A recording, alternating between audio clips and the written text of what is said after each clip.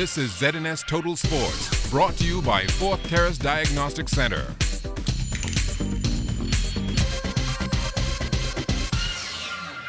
Welcome to sports, everybody. The Ministry of Agriculture and Marine Resources kicking off its 2015 Regatta Conclave last night with a welcome reception.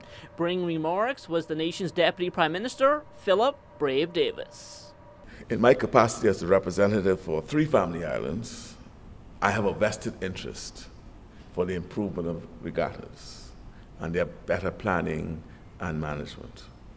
So I wait in anticipation of the results of your conclave so that I may monitor the improvements in the upcoming Cat Island regattas slated for the Emancipation holiday weekend and hopefully the mini regatta that was started in San Salvador. I hope that through the intervention provided by the Ministry of Tourism at this conclave, which is expected, you will formulate meaningful approaches to allow regattas to tap into our 5 million tourists that come to the Bahamas seeking a unique Bahamian experience. It is important that you, as stakeholders, chart the way forward to ensure that by 2020, the Bahamas will be able to host an internationally renowned regatta at the highest professional level.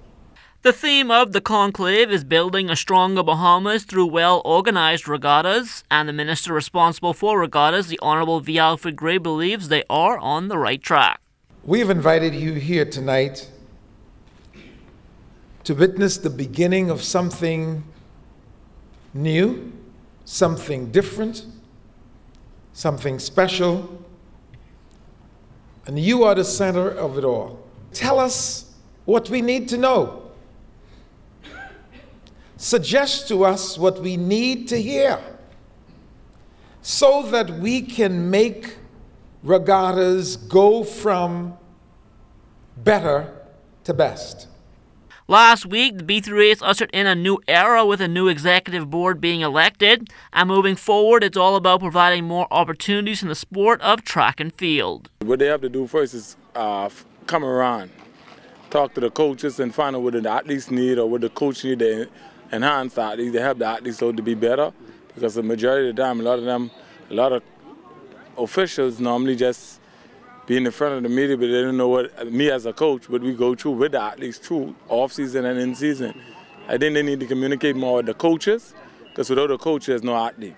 Without an athlete, there's no coaches as a team. Most of the courses I did, I had to go to the USA track and field to do my certification.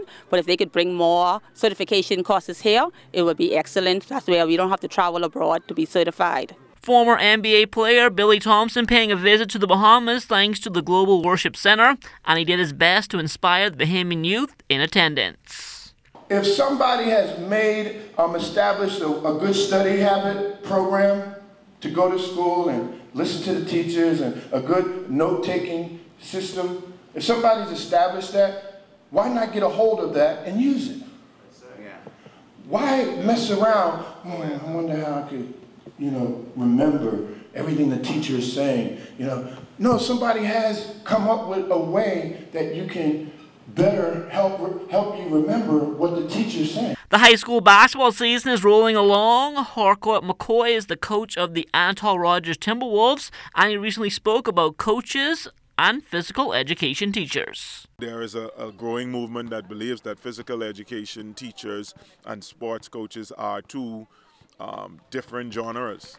Um, but there are within the body of physical education teachers, just in, in any other um, community, very good persons who are passionate about what they're doing, who, you know, have the best interests of the school and the heart for the children. And then you have those persons who are only doing it for the money. Um, and that's the kind of persons we really want to weed out. You know, if I'm going to put in a minimum amount of time um, to get payment for something and the kids are suffering, I mean, I, me personally, I wouldn't want that kind of person in my school coaching my team. And that will do it for sports. Stay tuned. You have the forecast still to come.